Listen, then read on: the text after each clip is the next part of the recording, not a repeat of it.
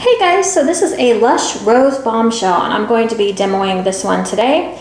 This one, I was so excited when I smelled it. I, for some reason, I didn't look at the scent description when I was checking out. I was just like, I'll just get it. But I had remembered from previous years that Rose Bombshell had a different scent. I don't know what that scent was, but I remember I didn't like fall in love with it. This one is Rose Jam scented and oh my gosh, I did not get Rose Jam for Christmas.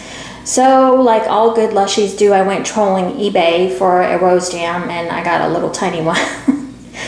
but I'm so happy that it's coming to me. But this, in the meantime, will do. I did pick up two of these because I want. I knew I'd want one for later, but I want one now and one for later.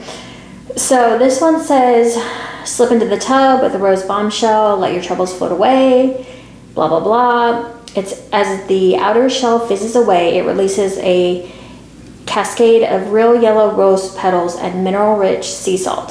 So it has rose absolute, rose oil, and Sicilian lemon oil. Yeah, okay, so that's basically what it has in it, and this is what it looks like. It looks like it has some rose embeds on the outside, and we've got some green going on.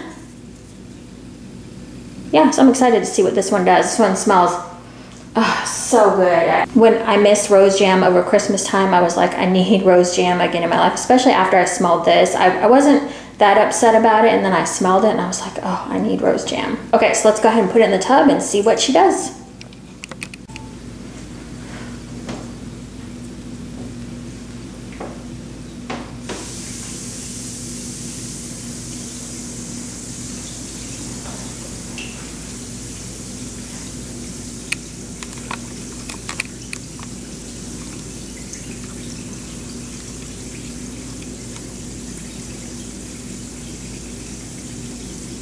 Can you guys hear that? It's making this lovely fizzing noise.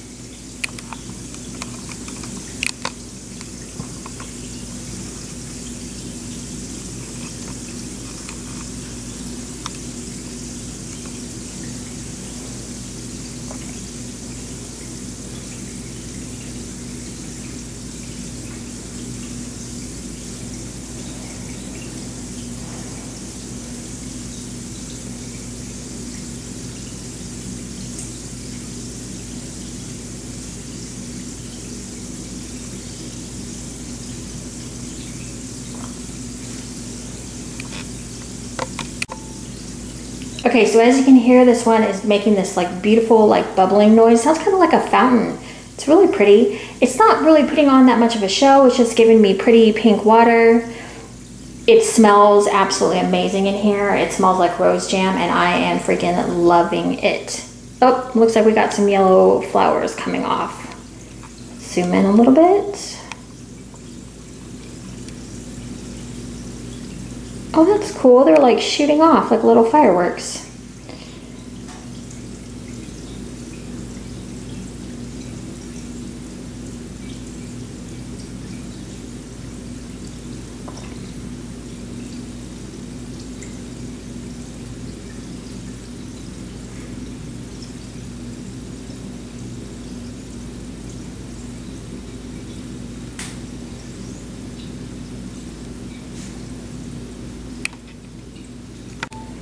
Okay, so there's actually about four rose petals that popped out, so not like, I mean, you probably don't want to clean up all that stuff if they like put any more in there, but there's just a nice yellow rose petal right there. There's probably four in my tub. Um, so yeah, if you don't want to clean up a lot, then that's fine with me, just having four. Okay, so this one I could definitely see being really nice in a cocktail and also, you know, like a, adding a bubble bar or something. It's not really one of those that puts on a big show. Sorry about the noise. That's the, like the water hitting the, the outtake filter, whatever in the hell that thing is.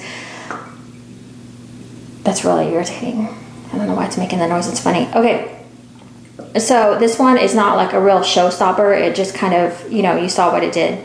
But I would honestly recommend like a bubble bar or something to go with it if you wanted to, if you wanted some bubbles, just because, like I said, it wasn't like a real amazing bubble bath kind of thing. It does smell awesome in here. I love the scent. The yellow petals are a nice touch and that is about it. I'm gonna go ahead and hop in. My hand is already pretty moisturized from this bath, so I'm guessing that it's probably gonna be a pretty moisturizing bath. And yeah, I'll probably put across the screen right here how the bath was, just so I don't have to come back and record after I get out of the bath because I'll be relaxed. Okay, Thank you guys so much for watching and I will talk to you later. Bye.